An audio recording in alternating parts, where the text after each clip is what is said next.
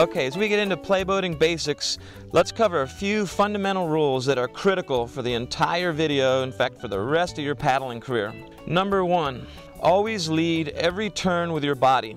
Now in playboating, almost every move you do is a turn.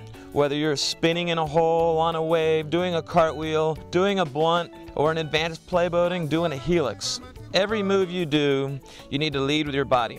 At the end of every stroke, if you're not leading the turn with your body, you're not able to look where you're going. You're also not able to take your next stroke quickly.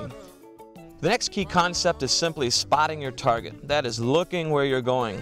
Unfortunately, almost every kayaker by default looks over their bow. But in playboating, your bow is almost never pointed at the target. Instead, you need to think of your head to be completely free to move back and forth and look wherever you're going next. If you're turning to the left, then you need to have your eyes and your head pointed to where you want your boat to go next. Simple as that. The last concept we're going to discuss here is keeping your weight over your boat. Keeping your weight over your boat means that you're always balanced.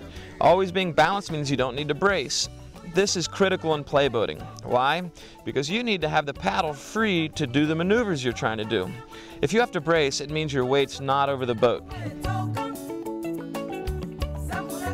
The lean clean is simply learning to transfer your weight and the edges of your boat in a way that allow the boat to go vertical. This is an edge control exercise that is absolutely critical for all of your playboating that has to do with getting vertical. You start with a lean clean by learning how to get the stern underwater. How do you do it? You drop an edge, put some weight on your stern, and your stern goes under. But what you really want is the stern to scoop. To get that scoop, you need to drop your edge, lean back, and lift your edge. Now what happens? Notice your boat turns. Your next step is do the same thing on your bow. You drop your edge on your bow, put weight on your bow, the bow goes under. You lift the edge quickly, it scoops out the other side. Now for it to work, you need to do that edge transfer very quickly. What do I mean by that? Lean back on your stern, drop your edge, lift the stern almost immediately. If you wait too long, the stern bobs out the way it came. Now what are you looking for ultimately? How do you know when your lean clean is going well? You can link the bow and stern together. What does that look like? Ultimately, those are flat water cartwheels with no paddle. When you first look at this, you may think this is an advanced move, but in fact, you can learn this extremely easy, and this is the shortest cut you've got to learning to get your boat vertical in flat water, in holes, or even on waves. All right, we're ready to start with our playboating moves. The first thing we want to learn how to do is to get your boat vertical. And we're going to learn how to do it in flat water. Why? Because if you can get the bow under in flat water or the stern under in flat water, then you can do all the vertical moves in the white water as well. The first and easiest way to get vertical in flat water is what's called the plowing ender. To get the boat moving, you need at least five, six, or seven hard strokes. What you're trying to do is create a wake behind you. Now put all of your weight on your feet and start driving your boat hard again. Your bow should be underwater, and if you keep driving and keep the boat straight and flat, the bow will go all the way down until you're dead vertical and fall over on your head.